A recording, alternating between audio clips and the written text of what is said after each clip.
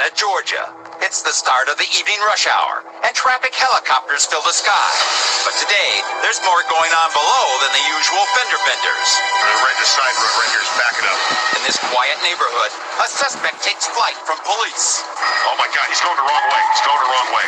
Oh man. It's evident right away that this chase is a bigger story than anything else on the road. Oh my God, he just ran a red light. He's going to kill somebody.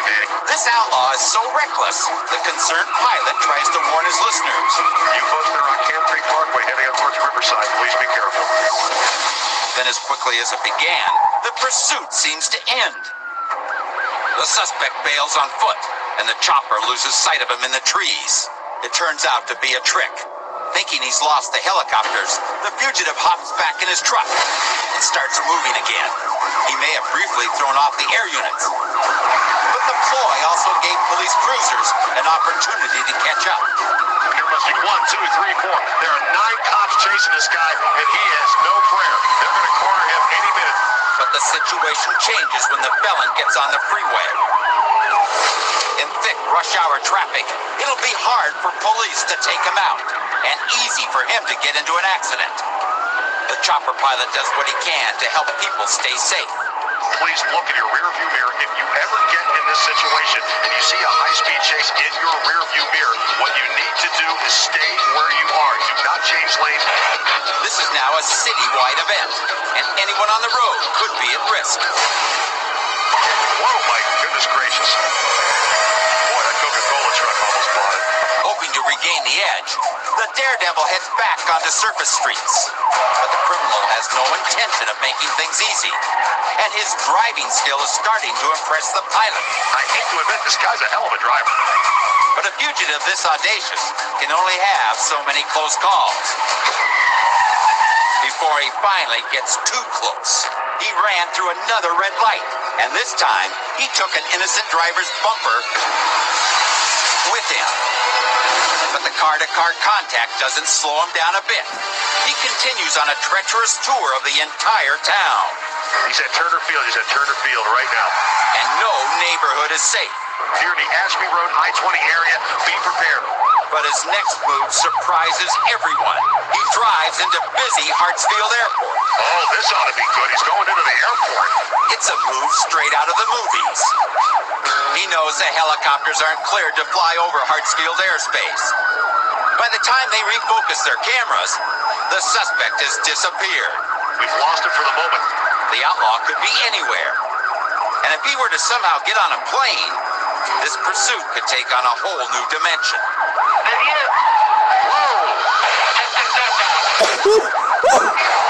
Next, on world's most dangerous police chases. Here we go. Here we go. He clipped him. More the wildest, hairiest, scariest, most bizarre, They've got the person out of the vehicle. and unusual chases did you see that truck driver right there? Thanks, guys.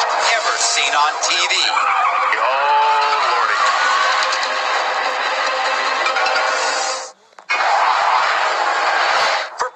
officers in a high-speed pursuit, the only thing worse than a fugitive who won't stop is a fugitive they can't find at all. This careening criminal has been wreaking havoc for nearly half an hour. Oh, man, this guy.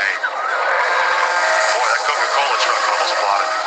Thousands of motorists are in harm's way, knowing the outlaw could race by at any moment.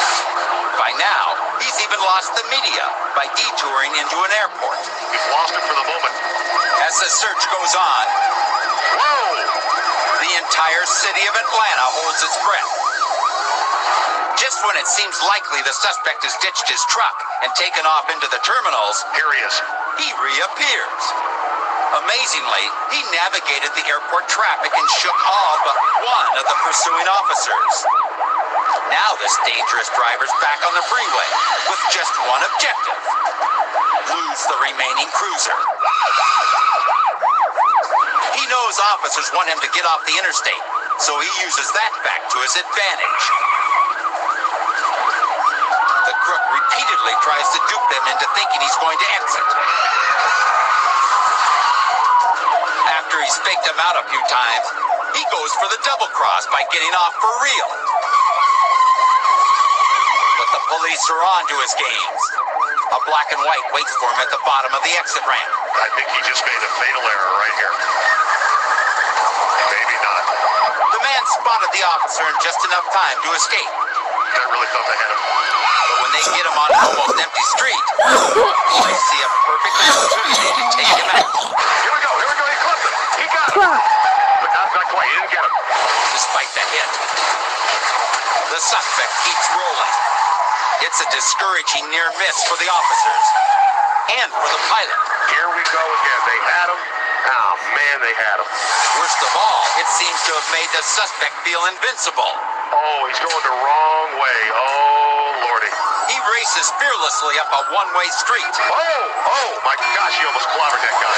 As terrified motorists duck for cover, police search for another opportunity to hit the thief. No, come on, come on, come on. Get him, get him, get him. Oh, oh, my goodness. A tactical ram would be too dangerous in opposing traffic, so officers set up roadblocks instead. They got him cornered because there's a cop up here ready to block this road here at Fulton Street. But the felon sees the other cruiser in plenty of time. Right through the parking lot. There's a Georgia State Patrol car he's going to try to corner. They got two of them up here. He dodges the officers, but his detour takes him right toward a dead end. They've got him. They got him cornered. Of course, that only means the road is ending. Oh, he's going in the grass. Oh, my goodness gracious. Maniacal moves like this only make the story bigger news. This is all over Metro Atlanta. Everybody in town knows about this chase. But some people who hear about the pursuit want to do more than just watch. Regular citizens pitch in to lend police a hand. Yo, you see a truck driver right there? He slowed down. Rattled by the forces mounting against him, the suspect swerves erratically. But it turns out this chase has damaged more than his nerves. Look at his right rear tire. He's got a flat. The earlier pit maneuver managed to puncture the truck's tire. Now, with the help of truck drivers, police set him up to finish the job. The truck drivers have literally come to a halt. Thanks, guys. Good job. He's got to get off of Camp Creek. An impromptu roadblock funnels the suspect back off the freeway, where he's more vulnerable. Let's hear it for the truck drivers, man. On circus streets, police search for the opportunity to ram the truck. But the driver eludes them again and again. Oh, I think they've got him. I think they have him. Well, not quite. Oh, he's somehow maneuvered around the Georgia State Patrolman. When the suspect turns into a parking lot to avoid traffic, police finally see their chance. But the suspect's unexpected turn puts an innocent driver in his path. Oh, he clipped the car. Again, the suspect shrugs off the hit, leaving the other driver stunned but unhurt. As the truck blazes onward, a stunned motorist has to back up to get out of his way. Backing up beats getting crushed any day. But just as it looks like nothing short of a miracle will end this chase, This looks like Smokey and the Bandit. There must be 15 cops chasing this guy. police get that miracle. Okay, hold on. It's over. The suspect is run out of gas. Okay, they got him. They got him. And as police take the destructive fugitive off the streets, the entire city can breathe a collective sigh of relief. Oh man, oh man. This marathon pursuit actually began as a case of mistaken identity. Police were looking for a burglary suspect when they spotted this guy, who had just stolen this truck off a dealer's lot. Oh, oh my gosh. Of course, by the time this chase ended, he'd built up a laundry list of new charges misdemeanor hit and run, felony evading, to assault with a deadly weapon, and of course, grand theft auto. And an entire city watched as he went from low rent car thief to the most wanted criminal in town.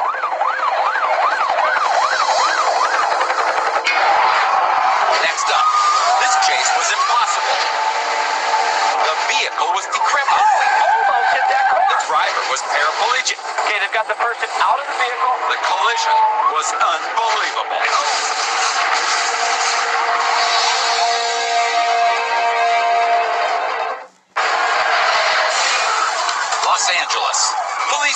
An old rust bucket of a Chevy van. Got heavy traffic, heavy traffic here. Unbelievably, the driver is wanted for allegedly trying to run over his own mother only moments ago. Through the gas station at Hyde Park, westbound, westbound at Hyde Park. He roars down the quiet streets, pushing his decrepit vehicle to the limit. Stop signs mean nothing to him. And there he goes. Okay, he's approaching Crenshaw. He's got a lot of cross traffic, a lot of cross traffic. He barely slows down for this city bus. He's on the wrong side of the street. Wrong side of the street there. Then the helicopter pilot learns some amazing news. They're telling me now that the police just found out that this driver is paraplegic, unable to move his legs, driving with hand controls only. Oh, there he goes. He almost hit that car right there.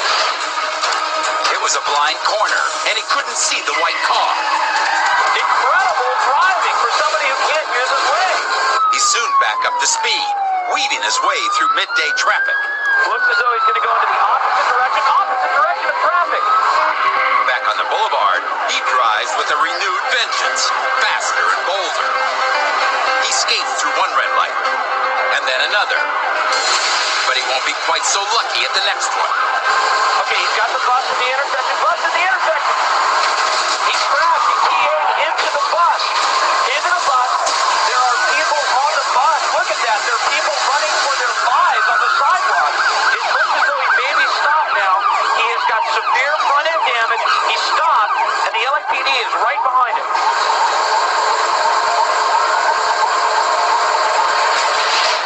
The suspect tries to steer away from the inevitable, but it's too late. The bus careens into two other vehicles as frightened onlookers flee for their lives. The van mows down a fire hydrant, which erupts in a massive urban geyser. As the van rolls to a stop, a desperate mother tries to corral her terrified. Hey, It's a away! horrifying ending, Okay, yeah, but the surprises are far from over. They've got that person out. He's out of the vehicle. Looks as though at this point he's complying ah, with these yeah! officers. The suspect drags himself toward the middle of the street. Okay, they've got him prone down now. They've got him prone down now.